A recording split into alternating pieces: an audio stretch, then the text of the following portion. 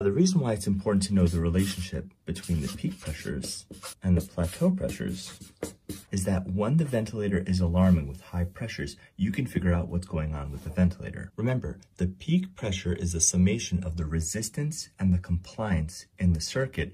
The plateau pressure is just the compliance. So knowing the ratio between these two things can tell you some very important things. If, for example, the peak pressures are greater than your plateau pressures and the vent is alarming, then you have to think about things that would be causing a problem of resistance. Those would be things like bronchoconstriction. Perhaps this patient has a mucus plug.